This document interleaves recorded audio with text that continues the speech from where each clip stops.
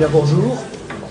Donc, je suis Eric Foy, je suis président de l'association Emmaüs Bussière Refrain, puisque on me demande de parler du CADA, je parlerai de l'association parce que je suis un peu caractériel.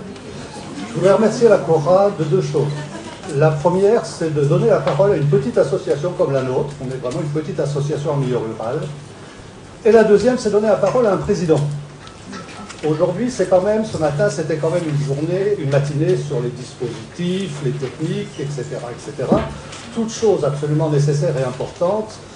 Mais peut-être c'est intéressant aussi d'entendre la parole d'un président et de se poser la question de pourquoi les personnes vont s'investir en tant que président Qu'est-ce qui compte pour eux? Quel est le sens de cette action?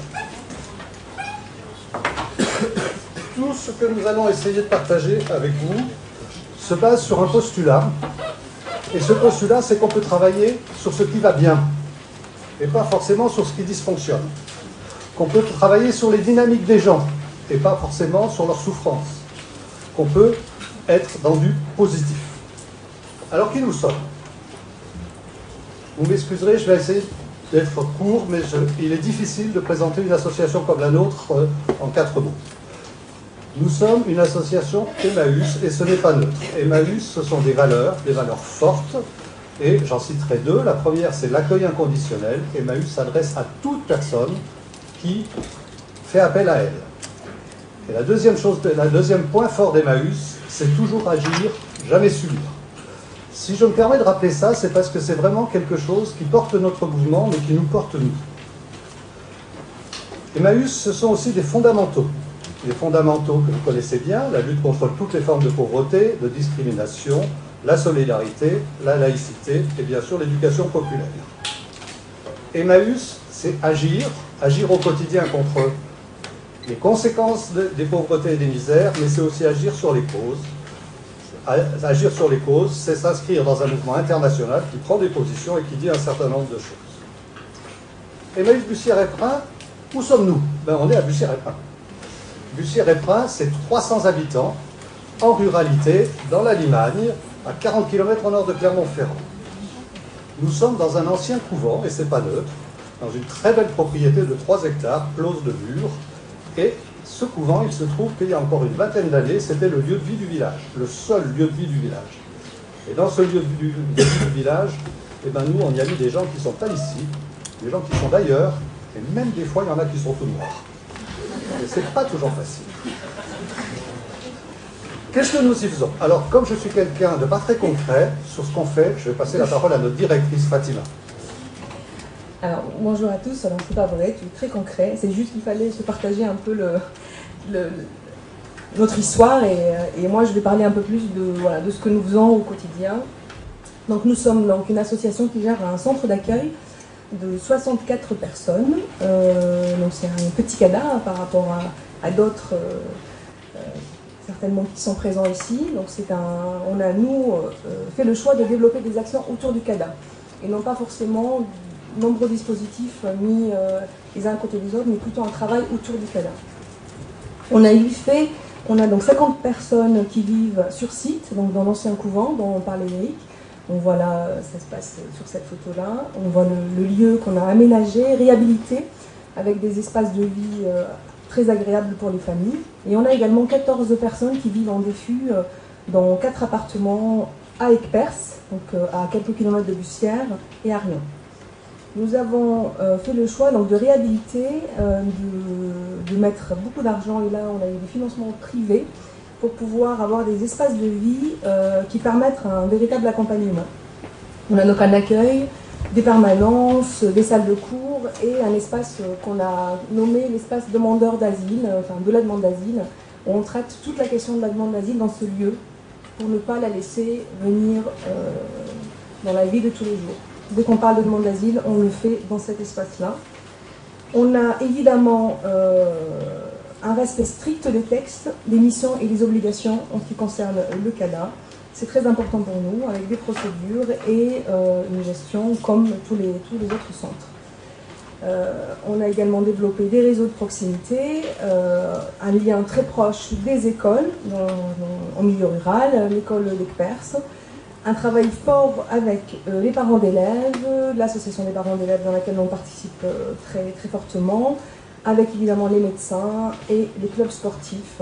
donc ça c'est les lieux dont je parlais, un lieu d'accueil, une salle de demande d'asile. Et le, les clubs sportifs, on a les, résidents qui sont très investis dans les clubs sportifs du coin. Notre association, euh, Emmaüs busser a plusieurs euh, actions envers euh, les demandeurs d'asile. Euh, en direct, pour les demandeurs d'asile, il y a évidemment les cours de français, nous en avons tous les jours, voilà, et pour des différents niveaux. On met à disposition des vélos, tous les demandeurs d'asile et leurs enfants ont des vélos qui permettent à ce que tout le monde puisse être mobile. Euh, et ce sont donc des bénévoles qui gèrent, qui récupèrent, qui réparent et qui mettent à disposition ces vélos. Toutes les familles qui arrivent, dès les premiers jours, elles ont euh, en cadeau un vélo et ça c'est très, très bien vécu. Euh, des actions petite enfance, évidemment, pour les familles et pour les parents, qui, les mamans seules notamment, pour les accompagner dans les premiers jours. Notre association s'est investie énormément pour les sortants du CADA, avec pour les statutaires une habilitation bas glissant pour pouvoir permettre une sortie rapide du cadin. Mais pour les déboutés, il y a aussi euh, les logements solidaires. Eric, tu peux peut-être euh, en dire un mot sur ces logements? Oui, je, veux bien en dire un mot, mais ce n'est pas le sujet. Disons que la question de la santé est une question évidemment cruciale pour une structure comme la nôtre et pour une association comme la nôtre. C'est éthiquement une question absolument centrale. Euh, donc on a mis en place un dispositif qui est très expérimental, hein, qui est très très modeste, où nous achetons des maisons en milieu rural à partir de dons particuliers qui s'engagent sur plusieurs années, créant ainsi un réseau de solidarité autour de nous. Et nous logeons des familles accompagnées par des gens du site sur lequel elles vivent pour toutes les actions de la vie, et en leur proposant d'avoir une activité socialement utile, c'est-à-dire de ne pas rester enfermés sans rien faire. Euh, pour l'essentiel, nous travaillons pour le moment avec Emmaüs Puy-Guillaume, les gens étant compagnons à Puy-Guillaume, compagnons externes. Euh, on a aussi une action donc, de plus en plus importante sur ce qu'on appelle le développement social local. Euh, on a donc un accueil de loisirs sans hébergement au sein même du CADA, euh, dans les murs du couvent, où viennent une quarantaine d'enfants. Donc il y a évidemment les enfants de résidents, mais aussi les enfants de l'extérieur qui viennent se mélanger aux nôtres. on travaille beaucoup sur la question de la culture, et on a, par exemple, on est partenaire des VI de pays, donc il y a des compteurs qui viennent au sein du CADA, donc on ouvre nos portes à des familles de l'extérieur qui peuvent venir passer un moment avec nous. Et évidemment, on a une épicerie euh, sociale, parce qu'il faut aller jusqu'au bout, et donc là, c'est toute la question de solidarité, donc l'épicerie sociale et un vestiaire qui permet à des familles de l'extérieur de venir aussi bénéficier des, actions de solidarité que nous mettons en place. L'idée, c'est d'essayer de s'ouvrir et de ne pas avoir euh, que le public de demandeurs d'asile. Ceci étant dit, le CADA reste euh, dans, une, dans une place, dans le territoire qui reste un peu fragile, jamais tout à fait gagné, donc on a un travail au quotidien pour permettre ce que ces actions continuent chaque jour, à la fois avec les partenaires, les élus, mais aussi, voilà, il faut avoir un peu le, courage chaque jour pour, maintenir ces actions. Et bien sûr, donner de la vie dans ce village. Alors, une liste d'actions reste une liste d'actions, et en tant que telle, ça a de l'intérêt, mais de mon point de vue, assez modestement. Ce qui me semble le plus important, c'est d'essayer de vous faire partager ce qui les sous-tend. Ce qui les sous-tend, c'est un fonctionnement associatif. Alors, cette association, très concrètement, elle est composée d'une cinquantaine d'adhérents, de 25 membres du conseil d'administration, d'une grosse quarantaine de bénévoles et de très, très, 10 salariés et de très nombreux amis et partenaires. C'est une association qui évidemment fonctionne avec des financements, des financements publics, le CADA, des dons, les logements solidaires et beaucoup de financements privés et de participation des bénévoles. Nous avons évalué la participation des bénévoles pour l'année passée à plus de 60 000 euros, ce qui est quand même relativement considérable. Mais ça, ça ne donne toujours pas pourquoi on fait ça. En fait, notre association, elle fonctionne sur des utopies. Les utopies, c'est quelque chose que nous n'atteindrons jamais, vous le savez bien, mais qui font vivre tout le monde. Et quand je dis qu'elles font vivre tout le monde, elles font vivre aussi bien le conseil d'administration, les bénévoles, les salariés, voire les résidents. Alors nos utopies, elles sont relativement simples. La première, elle part d'un constat. Elle part d'un constat autour des demandeurs d'asile. Les demandeurs d'asile sont des gens qui ont un passé, qui est le leur. Ils ont fait des choix, ce sont les leurs. Ils ont vécu une vie, c'est leur vie. Ils ont vécu un exil, c'est leur exil. Et puis ils auront un futur. Et ce futur, on y peut mettre. Il y aura une décision qui sera positive ou il y aura une décision qui sera négative. On y peut mettre. La seule chose qu'on peut, c'est peut-être leur donner quelques clés pour qu'ils tentent de présenter au mieux leurs arguments au moment de la décision. Donc nous, on fait quoi là au milieu? Alors nous, on s'est dit, ben, au fond, ces gens-là, dont certains resteront et dont d'autres partiront, on peut avoir une ambition, une ambition assez modeste, mais qui nous engage énormément, qui est juste de leur permettre de se dire que un jour, peut-être, ils se rappelleront et Pin et ils se diront là j'ai été bien reçu, là j'ai été pris en considération. Et ça, c'est ça qui nous fait vivre, c'est ça qui porte l'ensemble de nos actions. On a une autre ambition, une autre utopie qui est qu'aucun enfant, qu'aucune famille, qu'aucune personne qui sorte du Canada ne dorme dehors. Ça aussi, c'est une ambition forte et lourde.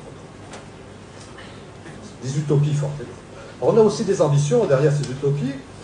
Fatima en a dit deux mots, je le redis.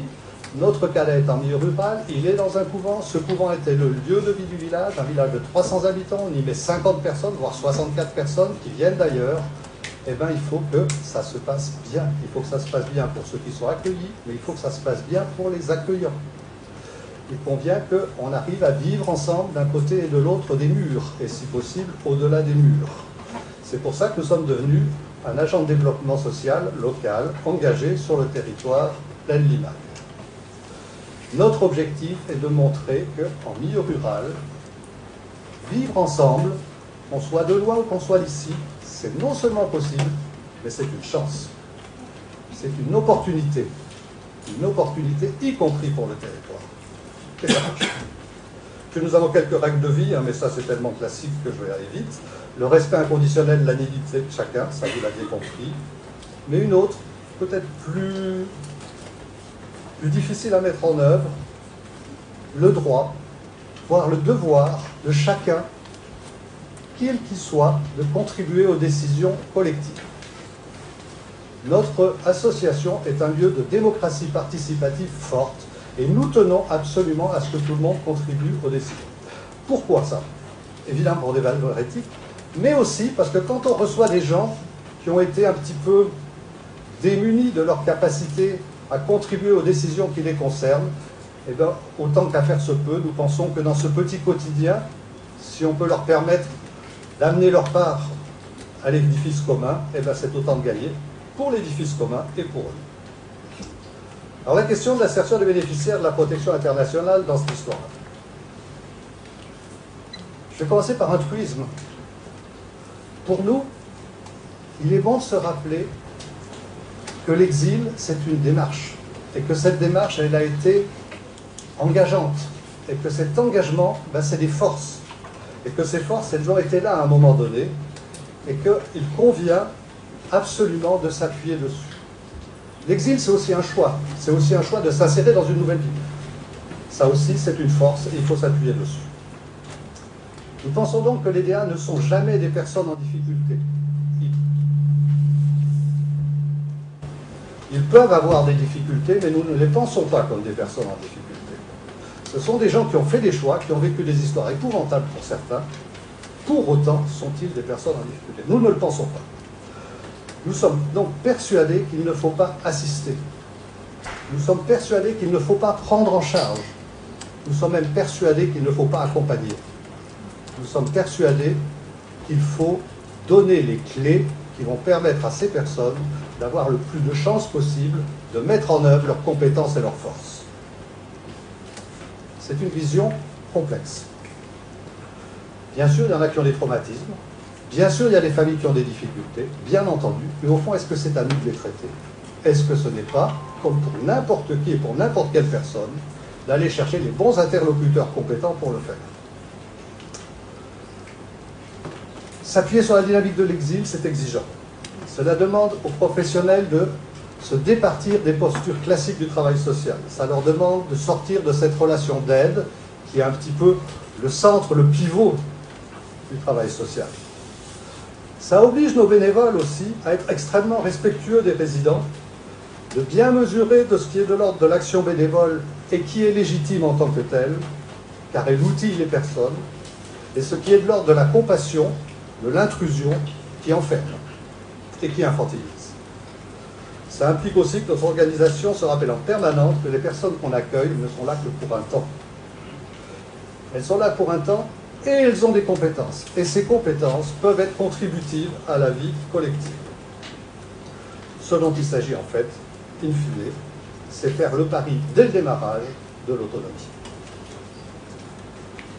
Le deuxième point qui nous préoccupe, qui nous fait travailler, c'est la question du temps trop.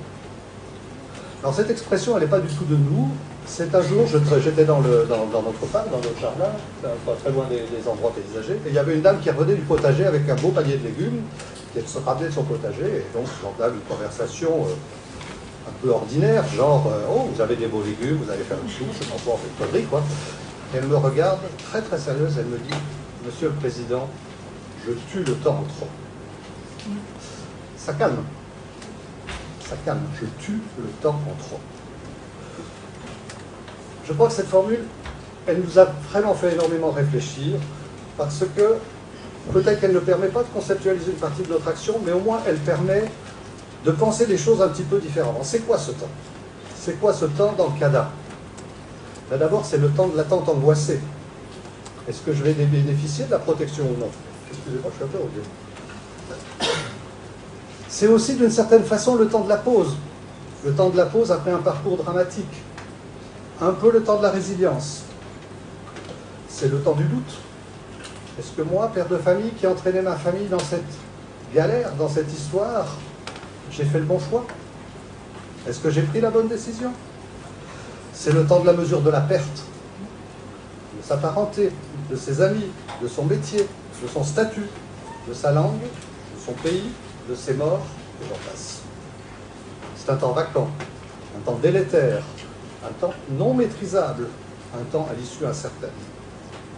Et c'est un temps où on est dépendant, soumis, contraint, sans statut valorisant, sans rôle social. Et je pourrais continuer. Ce temps dans un CADA peut devenir très vite mortifère, parce qu'il enferme les personnes dans leur situation administrative.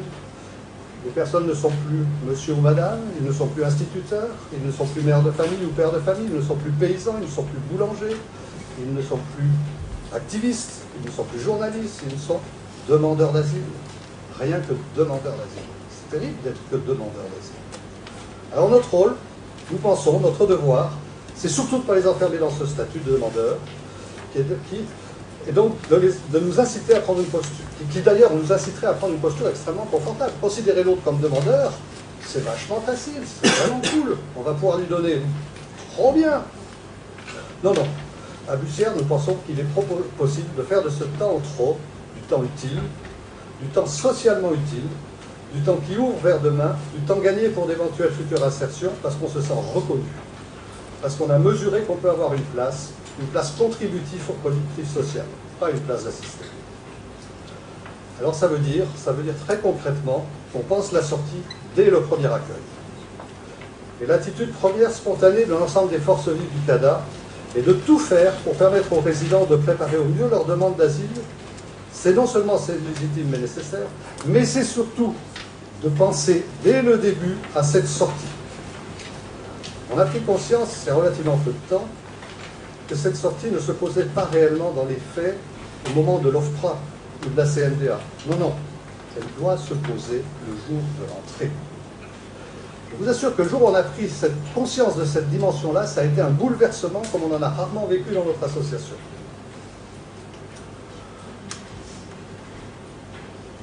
Dans les faits, ce changement de regard, ce changement d'attitude, plus que d'action proprement dite, a pour objet de laisser la demande d'asile ne pas tout envahir, de faire attention à ce que la demande d'asile reste là sa place. C'est ce que Fatima a expliqué en créant un espace dédié mais c'est aussi et surtout trouver, permettre à chacun de trouver des activités utiles pour lui d'abord, pour sa famille, pour son regard sur lui-même, pour l'image de soi et évidemment pour sa sortie, parce que socialement et collectivement utile. On n'est pas dans l'activité pour l'activité, on est dans l'activité pour l'utilité. Nous voulons donc que toutes les dimensions de notre association, que ce soit le travail des travailleurs sociaux ou celle des bénévoles, intègrent cette dimension, là je redis la même chose, cette dimension de l'utilité de l'activité. Fatima Alors, très concrètement, euh, dans le quotidien, on a évidemment euh, beaucoup le font sûrement, mais nous, nous le faisons très régulièrement, à la fois en interne avec les travailleurs sociaux, mais aussi avec des partenaires.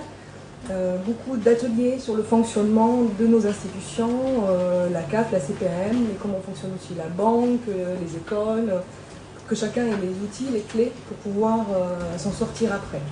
Nous travaillons autour de l'alimentation aussi, autour de la santé, et on a des ateliers toute l'année qui, stimulent les gens avec des réunions très régulières. Nous travaillons aussi le plus possible euh, à la fois avec les hommes et les femmes, j'insiste bien là-dessus, ce ne sont pas que les hommes qui sont en activité, mais les femmes le sont également, sur des chantiers agricoles.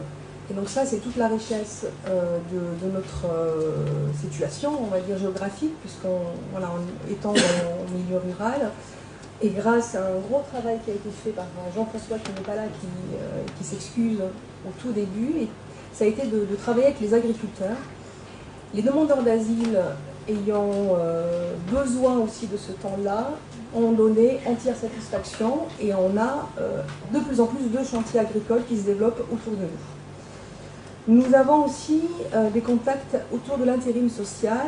C'est un peu plus difficile depuis à peu près un an avec la non-possibilité d'inscrire les demandeurs d'asile à Pôle emploi, mais en tout cas c'est quelque chose auquel on a pu euh, on a pu euh, les inscrire dans, l'intérim social et beaucoup ont réussi à avoir des premières missions euh, à partir du moment où ils pouvaient demander une autorisation de travail. Nous avons beaucoup de remplacements, par exemple, sur lesquels nous, positionnons des demandeurs d'asile dans des services de quelques municipalités pour des CDD très courts, parfois un peu plus longs. Alors, nous avons, nous, une chance formidable de pouvoir bénéficier de ces autorisations de travail. C'est vrai que dans le milieu agricole, euh, il y a vraiment des besoins. Donc, du coup, on est sur euh, des demandes très justifiées hein, pour avoir ces autorisations de travail. Mais nous avons aussi des, partenaires avec des entreprises. Et là, je pense à un poulailler, par exemple, qui, prend beaucoup de, demandeurs d'asile. qui, a besoin de, de main-d'œuvre et qui n'arrive pas à trouver. Donc on a, nous, une facilité grâce euh, à la directe au niveau du de pour obtenir ces autorisations, parce qu'il y a vraiment un besoin urgent. Et, euh, voilà. Donc ça, ça permet à toutes ces personnes d'être euh, systématiquement à la fois à la recherche d'un emploi, mais aussi à, répondre quand possibles, quand il y de l'offre. Nous travaillons évidemment leur CV très rapidement pour qu'on puisse justement répondre tout de suite à des, euh, à des possibilités d'emploi. c'est vrai que ces revenus sont très utiles, ça paye parfois l'avocat euh, quand, euh, quand, on n'est pas sur une demande d'aide juridictionnelle, mais ça redonne surtout de la dignité et ça aide à ce que les personnes puissent subvenir à leurs besoins et à ceux de leur famille. Et on a réussi en 2015, un peu moins en 2016, à avoir un apport important euh, des résidents euh, dans notre budget de fonctionnement euh, du CADA, qui est venu conforter notre, notre dotation de fonctionnement. Parce qu'on a demandé cette participation aux familles. Réciproquement, le fait de travailler modifie le regard et c'est vrai qu'on a plutôt une bonne ambiance grâce à ça, grâce au fait qu'une partie des familles est active, euh, ça, il y a moins de, voilà, moins de difficultés à vivre ensemble et on a plus de choses à se raconter aussi. En dehors du travail, il y a aussi le fait d'être utile socialement. Donc beaucoup de nos résidents, quand ils sont dans cette période ils ne peuvent pas demander une autorisation de travail, ils peuvent être compagnons à Emmaüs, comme Eric le, disait tout à l'heure, ils peuvent être compagnons extérieurs et euh, ça leur permet d'avoir une activité, c'est parfois difficile, mais c'est quelque chose auquel ils tiennent beaucoup, ils sont très demandeurs qui sont aussi bénévoles dans d'autres associations, euh, à Clermont-Ferrand notamment. Et donc ils font le trajet tous les jours, ils prennent euh, la route tous les jours. Euh, on a mis, nous, des navettes au quotidien pour leur permettre d'accéder au train et de pouvoir aller, aller travailler ou pour faire leur bénévolat. Ils sont aussi souvent membres d'une association, une association sportive. on a une personne qui vient de s'engager dans une association sur l'histoire du pays qui est passionné d'histoire et qui vient donner un coup de main dans cette association. Voilà. Donc il y a vraiment un lien avec le territoire qui est de plus en plus vrai. Voilà, donc pour nous, il était important de, rappeler ça. Il y a la question du don. Alors là, c'est tout à fait autre chose. les personnes peuvent aussi nous aider, nous, dans la vie de l'association. Donc ils peuvent nous, nous, aider dans les chantiers de rénovation. Donc souvent euh, on les invite à venir, donc ils viennent s'ils ont envie, nous donner un coup de main pour euh, réparer, euh, pour peindre un mur, pour travailler un peu le jardin. Donc ça, ils sont très présents. Évidemment, pour tout ce qui est manifestation, à la fois culturelle mais aussi de solidarité, ils peuvent être présents. nous organisons une fête de la solidarité une fois par an en mois de mai avec plus de 1000 visiteurs. Donc voilà, ils sont partie prenante, ils sont bénévoles de l'association dans ces moments-là. Et ils donnent un coup de main euh, tout au long de la mise en œuvre euh, de, cette, de cette, manifestation et aussi euh, en amont pour, pour la préparer. Ils sont également contributeurs de l'action de solidarité de l'association en étant bénévoles à l'épicerie et au vestiaire. À l'épicerie, ils nous aident à aller chercher les denrées, à les installer et à les, à les mettre à la disposition des personnes qui les nécessitent. Voilà, donc Évidemment, l'insertion des personnes qui, sortent du, CADA, pour nous, se joue bien avant, bien en amont, et donc le fait qu'ils aient toutes ces expériences facilite grandement euh, leur, insertion ensuite. Voilà. Oui, je, crois que pour compléter ce que dit Fatima, la question du don et du contre-don est une question centrale. Dans une association comme la nôtre, les gens parfois ont le sentiment de recevoir beaucoup. En fait, ils reçoivent très peu. Ils ont le sentiment de recevoir beaucoup. Et ils ont rarement l'occasion de rendre. Leur donner l'occasion de rendre, c'est juste leur redonner dignité. C'est leur redonner participation au corps social. C'est de l'insertion. C'est un acte insérant en soi. La contribution à des actions de solidarité, c'est exactement la même chose. C'est aussi du don et du contre-don, sauf que c'est à l'externe. C'est-à-dire qu'au-delà de nous, au-delà du microcosme du Cierépin, ben, il y a un monde extérieur. Et ce monde extérieur, même quand on est demandeur d'asile, eh on peut contribuer à ce qu'il aille un peu moins mal. Et on peut, par des actions très modestes, mais on peut quand même donner du temps, donner de l'énergie, et ça aussi, ça contribue à l'image de soi, à la reconnaissance qu'on a de soi-même, et donc à l'insertion. Puis un dernier point qui est peut-être plus complexe, qu'on ne sait pas forcément très bien mettre en œuvre, mais c'est quand même, et j'insiste dessus, c'est vraiment la participation à la vie de l'association, la participation aux décisions collectives, la participation au conseil d'administration. Chez nous, dans le conseil d'administration, il y a des postes de membres de droit. Il y a un poste de membre de droit pour les résidents, il y a un poste de membre de droit pour les salariés, et il y a un poste de membre de droit pour les bénévoles. Donc toutes les forces vives contribuent absolument aux décisions d'association. Derrière tout ça, il y a quelque chose qui est moins visible, mais qui est très important, on n'en prend pas toujours conscience, c'est que plus les gens ont d'actions multiples, positives, pas forcément centrées exclusivement sur leur demande d'asile, plus il se crée du réseau. Des réseaux de connaissances, des réseaux d'amitié, des réseaux de liens. Et ça, c'est de l'insertion, au sens fort du terme. Alors voilà, Bussière, c'est ça, c'est une dynamique institutionnelle qui dépasse largement les acteurs, à Bussière, on peut dire qu'on a une dynamique collective, un état d'esprit qui rend tout ça simple, un peu comme une évidence, et ça autour de trois axes. La solidarité entre les résidents, ceux qui sont là, ceux qui ont été là, et ceux qui seront là. Et on introduit progressivement des logiques de solidarité entre les flux de résidents. Et ça se traduit très concrètement, par exemple, quand quelqu'un va habiter dans un quartier, s'il y a d'autres anciens résidents, eh bien, il l'accueille, tout simplement, et ça nous dépasse complètement. Ça se traduit par une contribution ordinaire, presque naturelle, de beaucoup à des tâches d'utilité collective interne ou externe. Et là aussi, qu'on soit bénévole, salarié, résident, on s'en fout, on le fait ensemble. Et ça se traduit par une immense paisibilité. Emmaüs Bussier-Répin, c'est un lieu de paix paisibilité collective, paisibilité individuelle. À Pin, les enfants vont bien.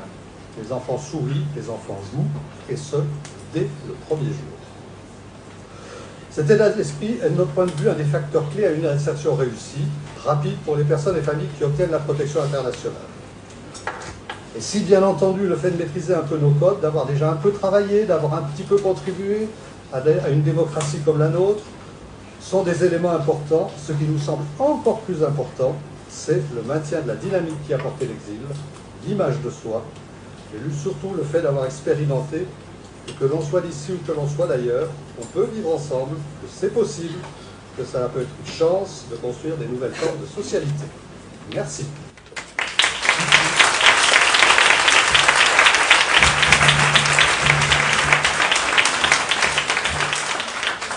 Merci, merci pour cette euh, belle présentation euh, synthétique, pour cette présentation à deux voix entre un président et une directrice.